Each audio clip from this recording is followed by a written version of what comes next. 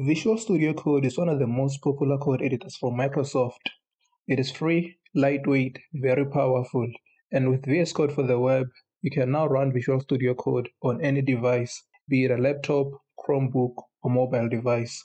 In this video, we'll look at what VS Code for the web is, the features it has to offer, its limitations, and how you can run it on an Android device. Stay tuned.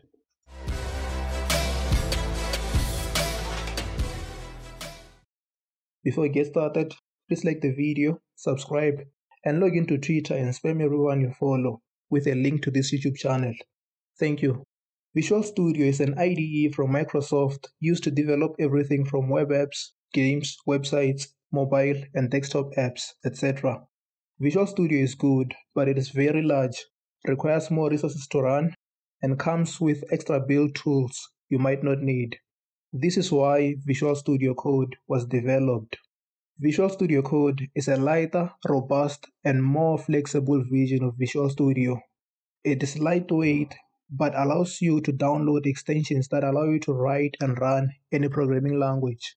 Visual Studio for the web is a version of VS Code that runs on the browser. This allows you to run it on any mobile device with an internet connection I reviewed Visual Studio Code for the web the day it came out, but they've added more features since then. To get started using the app, go to vscode.dev. You can use any device to do this, but I'll be using my Android smartphone. The app has an identical layout to VS Code for desktop, and you'll be able to hear that it has almost the same features. You get search, syntax highlighting, and IntelliSense for programming and markup languages like HTML, CSS, JavaScript, Python, C++, JSON, etc. You will need a Chromebook or a tablet with an external keyboard to take advantage of the other features like split display, multiple tabs, and the limitless customization options, as these will not fit on a smaller screen. The limitations of VS Code for the web are that the app cannot handle interpreted or compiled programming languages yet. It can't edit files stored in local storage directly, and most of the extensions are still unavailable. I noticed that at least some of the extensions are now available, which shows progress.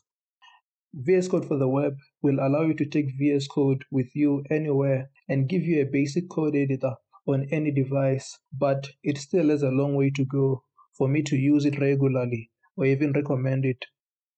If you'd like to write code using your mobile devices, check out the best code editors on mobile in this playlist or one of the best code editors on desktop.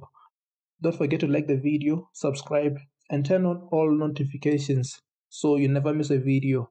Thanks for watching, and as always, have a great one.